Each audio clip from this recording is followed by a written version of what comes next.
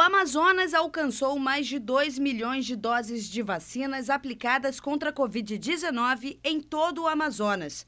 Após o um mutirão de 24 horas realizado na última terça e quarta-feira, 58.634 pessoas acima de 27 anos foram imunizadas com a primeira dose da vacina. Alívio, né, assim, de viver esse momento, né, e ser vacinada, é, para mim é o mais conforto agora, né?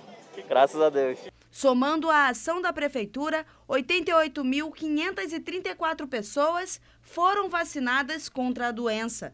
Para o Viradão, foram montados mais de 80 postos no Sambódromo, Arena da Amazônia e Centro de Convenções Vasco Vasques.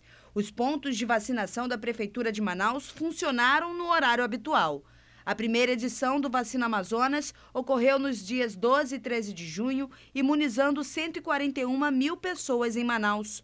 Outros dois mutirões aconteceram simultaneamente no dia 19 de junho, em Novo Airão e Manacapuru, quando 8.200 pessoas foram vacinadas. No dia 26 de junho, Parintins foi o quarto município a receber o mutirão, vacinando mais de 5 mil pessoas. Este foi o quinto mutirão Vacina Amazonas realizado no estado, o segundo só na capital.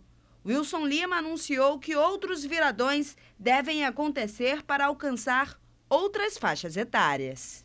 No sábado agora nós estaremos no município de Rio Preto da Eva, lá a gente vai é, vacinar acima de 25 anos de idade. Há um, um, um, atraso lá até por conta da limitação da prefeitura da quantidade de vacinadores e a gente está indo para lá com todas as nossas equipes para que a gente possa fazer é, essa aceleração nesse processo de vacinação. Thaís Magalhães para o Sistema de Comunicação Encontro das Águas.